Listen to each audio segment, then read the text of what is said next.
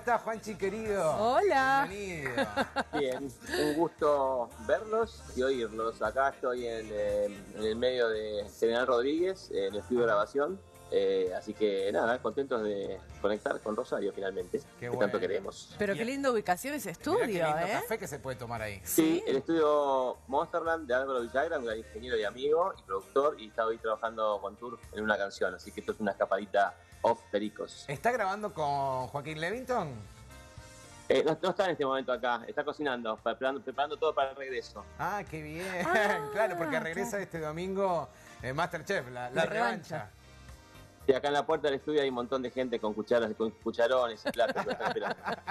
¿Ya te cocinó algo alguna vez, eh, Joaquín? No, pe- no, prefiero que cocine en la tele. Ah, ¿Y vos qué tal, Juanchi, con la cocina? Él anda bien. Porque sabemos que tenemos buenas No, especialidades. ¿sabes que, sabes que me, me habían convocado hace un año y pico, pero no, no me tentó, la verdad que no me tentó. O sea, Ah, me ¿no? encanta ver, hay que tener un extra, ¿viste? Una, unas ganas especiales de hacerlo y, y un...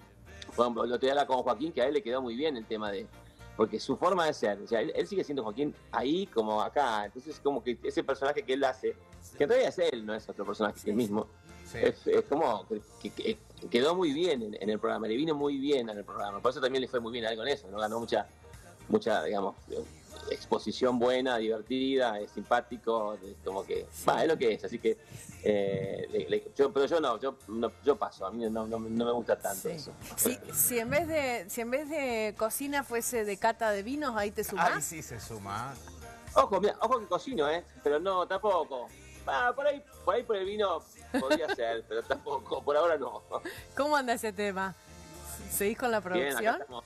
Vino anda muy bien, sí. sí, está- tengo a mi amigo, socio y campeón, que es este, Marcelo Peretti, enólogo de, de la bodega Monteviejo, donde él es gerente, que Sí. también es un tanque de, de guerra, digamos, que, que se mueve por el mundo, porque estamos ya con los vinos en Estados Unidos, en, en España, Ujú. está entrando a Brasil, así que estamos contentos. El vino Yo- anda bien, por suerte. Yo probé el Gran Baleirón y es una joyita, Soña. Ah, lo probamos, probamos. juntos, en Tomate tu tiempo. Es verdad, lo El probamos Gran Baleón juntos. anda, anda muy bien, ese Es un es, blend. alta bien. gama. Un blend exquisito. Muy bien. ¿Quién Bueno, hubiese dicho, no? Que un eh, músico tan obvio. reconocido, con cuántas... Y mira lo que tenía por detrás, ¿eh? Toda una producción de vinos espectaculares que, bueno, bien argentino también, como, Tal como cual. sos vos y como son los pericos.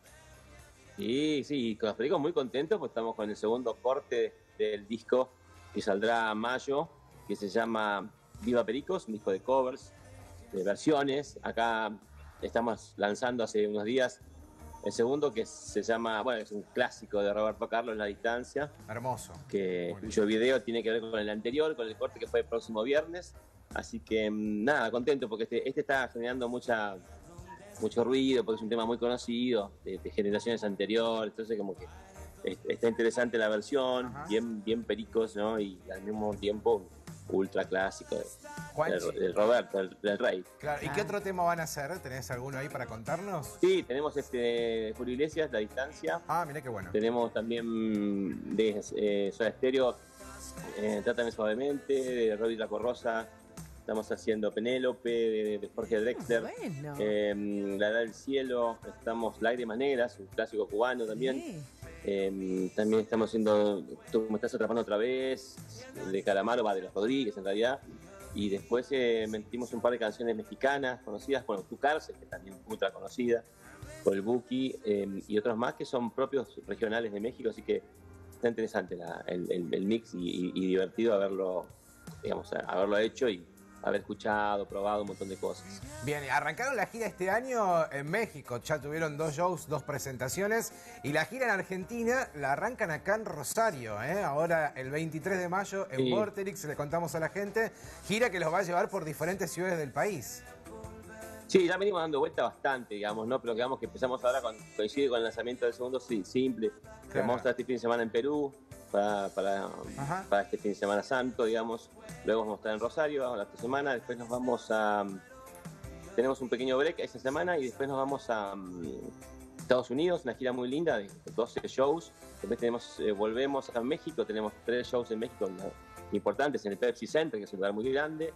Después Sí. tenemos este, mm, este, Europa, vamos a estar en España y un show en Italia, Costa Rica, y bueno, ya después va a estar el disco sonando y vamos a estar haciendo una hit importante y bueno, volveremos a Argentina, hacer el interior y preparar algo para Buenos Aires para pasado mitad de año, algo, algo grande también. Cla- ¿30 años son? 35. 35. Wow. Estamos todos tan 35. grandes. Pioneros, pioneros del Sí, rey no. en nuestro país. Hacemos como 35 Mirta, nos sacamos años. ya. Pues sí, ay, yo me acuerdo cuando arrancaron las como 35. Claro. che, ¿y cómo es esto de se cruzan generaciones, van padres con hijos? ¿Cómo son los Sí, recitales en va- vivo? Van padre con hijos y aparte los chicos por ahí no es que escuchen los pericos, sino que por ahí los conocen porque los escucharon en su casa de chiquito. Claro. Eso es lo que sucede mucho, ¿viste? Ves, pa- ves un padre que viene que te escuchó en un momento de su vida, su adolescencia, es un señor de cuarenta y pico, Claro. y de repente viene con sus hijos y de repente los hijos no, no son fans tuyos, pero Sí. los conocen porque lo escucharon de chiquito, porque el padre los Obvio. escuchó, entonces eso Bueno, sucede mucho. una- pero no una no es lo mismo- indirecta. Escuchar en tu casa que estar en vivo, ¿viste? Claro. Porque por ahí los padres ya nos compenetramos un poco más en vivo, empezamos a saltar y a movernos de una forma en que nuestros hijos no nos vieron nunca. Bueno, Aparte Sí. del show de los pericos en vivo, eh, que yo lo vi, el show de los No. pericos en vivo es, es espectacular. Claro. Es una gran banda. Ustedes viajan como en masa y Claro. suenan increíbles realmente en vivo. Sí, por suerte tenemos eso, ¿no? Que somos una banda que, más allá de las canciones y tener un nombre, la banda en vivo suena, es, co- es- es compacta, empuja, digamos, te saca a bailar de una, así que eh, eso está bueno y sí, es como que, mm, eh, nada, lo, lo ves en los shows, ¿no? A veces, este, a veces es un público amplio, amplio como, amplio, un público amplio como la cola de Denor, ponele, o como Mundo Marino. pero, pero hay de todo siempre, esos Sí. shows que son, viste, que por ahí, fiestas, eh, fiestas provinciales, donde como el recorte, digamos, etario es, es amplio, o sea, ahí ves de todo. Entonces, pues, sí, a la hora de cantar y bailar, todos están en la misma, saltan, gritan, bailan, está buenísimo. ¿Y vos saltás igual que hace unos años, Juanchi? ¿Cómo se maneja eso? O sea, a- a- hablemos de calidad, no de cantidad. Está muy bien. Bueno, ¿qué, ¿qué onda con el público rosarino? ¿Te está escuchando la gente en vivo ahora Eh, desde hermoso, casa? siempre. Sí, me acuerdo, muchos lugares, eh, muchas discotecas, muchos shows al aire libre, en la playa, en Florida, eh, en los alrededores de Rosario. Nada, tenemos cantidad de, de recuerdos lindos, de, de buena onda en diferentes momentos de los pericos, eh, en momentos de cambio, de transición también, siempre Rosario apoyando. Me acuerdo un show importante que hicimos cuando eh, asumí yo el rol de cantante, habíamos Sí. hecho un show muy importante en Buenos Aires, el Festival de la Cerveza, Ajá. junto a Divididos y, y- a Divididos y, Café Tacuba, justamente, y al día siguiente fue un gran show eh, con Pericos y Tacuba en el, en el anfiteatro, el así que ya, ya arrancamos bien. Claro que Y sí. Estaba lleno el anfiteatro, estaba así que estaba reventado y para nosotros también fue un lindo festival el- el de la cerveza y, y coronarlo con un concierto de Tacuba y, y los Ah, Pericos en, en Rosario al toque ya fue como muy lindo. Muy, Sí, el público de Rosario.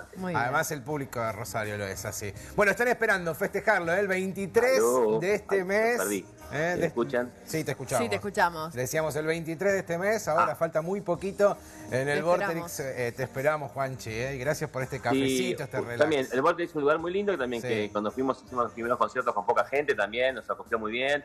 Así que tenemos este súper, súper onda con Rosario y con el Vortex, que los vemos el 23, chicos. Les mando un beso. Abrazo enorme. grande. Beso y abrazo Gracias, grande. Juanchi.